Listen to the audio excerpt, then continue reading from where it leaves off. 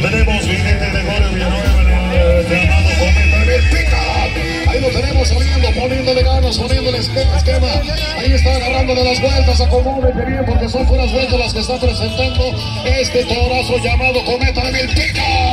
Ahí está esta ganadería, como siempre, haciendo polvo, haciendo espuma. Y el jinete que bien sostuvo la lucha, el buen Gregorio Villanueva de la colonia Primero de Mayo, hoy por hoy de los grandes y destacados jinetes derecho Gregorio. Le sacaste lo más difícil a este toro de por allá de Milpitas. El llamado cometa llama ya a la gente de caballo que está preparando los lazos. Ahí se están intentando un toro que ya para buena fortuna ha logrado ser dominado por un jinete que a bordo le ha trabajado bonito. Le ha trabajado con mucha entrega, dice ahí nos vemos. Venga el aplauso, sí señor.